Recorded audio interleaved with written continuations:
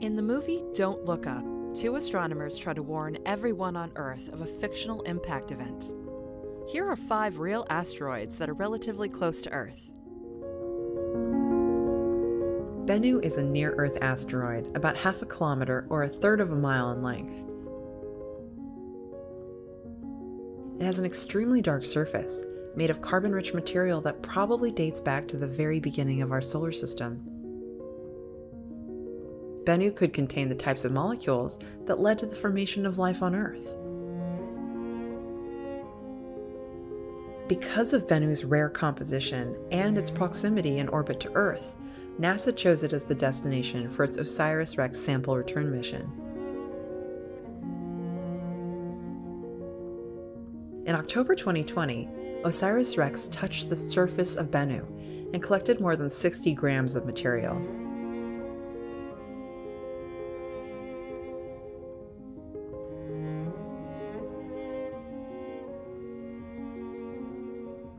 This sample is now on its way back to Earth and will parachute into the Utah desert on September 24, 2023.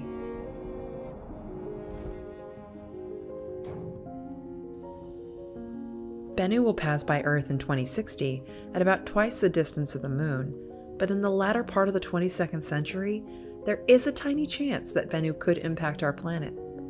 That's all the more reason to keep a close eye on Bennu. But for now, scientists are eagerly awaiting the samples to tell them more about the formation of the Earth and maybe even the formation of life itself. Asteroid Mathilde orbits the Sun in the main asteroid belt between Mars and Jupiter. It's a medium sized asteroid, just over 50 kilometers or 30 miles wide. NASA's Near Shoemaker mission visited Mathilde in 1997 as the spacecraft flew by on its way to meet with its primary target, asteroid Eros. Although the flyby was brief, Near Shoemaker learned a lot about the asteroid. When the spacecraft flew by, Mathilde's gravity pulled it slightly off course. Scientists used this deflection to calculate the mass of the asteroid. Near Shoemaker also captured more than 500 images of the asteroid, which scientists used to calculate Mathilde's volume. Combining these two measurements to find Mathilde's density, scientists learned that instead of being a single slab of rocky material, the asteroid is actually a loosely packed conglomeration of fragments. Astronomers began to call these kinds of asteroids rubble piles. Near Shoemaker also saw that Mathilde is pockmarked with huge impact basins including one that is 20 kilometers or 12 miles long, which stretches halfway across the asteroid. The battered appearance of Mathilde speaks to the fact that many, perhaps most, asteroids are not unaltered remnants from the early solar system. Instead, they have lived turbulent existences in which collisions are frequent, leaving these space rocks battered and scarred. Asteroid Vesta is the second largest body in the asteroid belt. Only asteroid Ceres is larger. Because Vesta is so big, it can sometimes be seen from Earth with the unaided eye, despite being very far away, orbiting the Sun between Mars and Jupiter.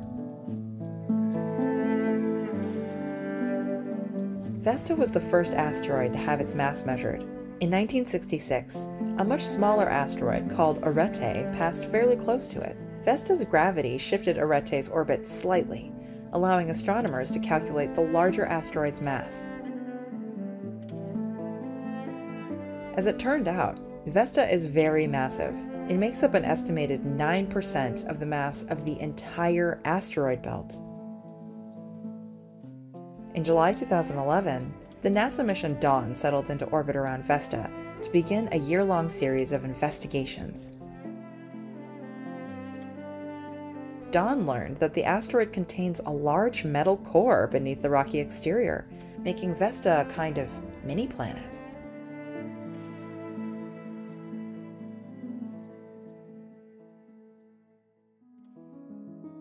Psyche is a metallic asteroid that could tell us more about what lies at the center of planets. With an average diameter of 220 kilometers, or 130 miles, Psyche is large enough for its gravitational pull to affect the orbits of other nearby asteroids. Measuring these effects, astronomers discovered that it has a lot of mass for its size, suggesting that it consists mostly of metal. Metallic asteroids are rare and are thought to have once been part of the metallic core of a forming protoplanet. Instead of growing into maturity like the Earth or Mars, these young worlds are somehow stripped of their outer layers. If this formation scenario is true, Psyche could afford us a glimpse inside a planet to the exposed metal heart that's usually locked away from view, buried beneath layer upon layer of rock. NASA is sending a mission of the same name to discover the truth about asteroid Psyche.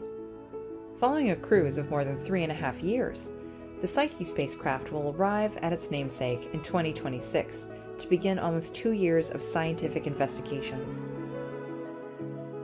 Psyche's cameras will show us close up what this rare planetary body looks like, including what craters look like on metallic bodies. Psyche's other instruments will tell us whether it is indeed the core of a protoplanet.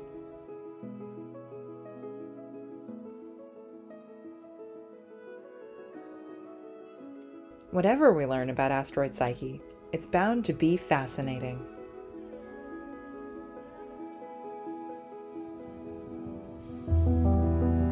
The discovery of asteroid Apophis in December 2004 caused headlines around the world.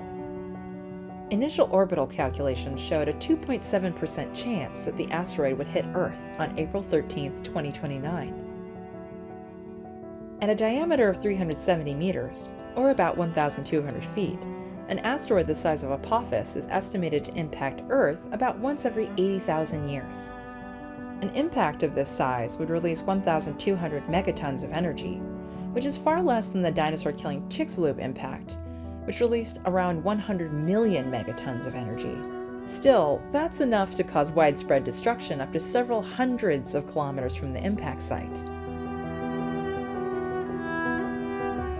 Astronomers rushed to provide more observations to get a better understanding of Apophis's orbit and refine its chances of impact. Thankfully, further data show that there is no danger of collision in 2029. Radar observations of Apophis during its flyby in March 2021 ruled out an impact for at least the next 100 years. Apophis's 2029 pass will come closer to Earth than any asteroid of its size in living memory. It will come as close as 30,600 kilometers, or 19,000 miles above the Earth. That's closer than our geostationary satellites. During its cruise by our planet in 2029, Apophis will be visible from Europe, Africa, and Western Asia. It will look like a somewhat bright star with a magnitude of about 3.1 moving rapidly across the sky. While we can relax about an imminent impact, Apophis remains an asteroid that we should monitor closely, just in case it ever heads our way.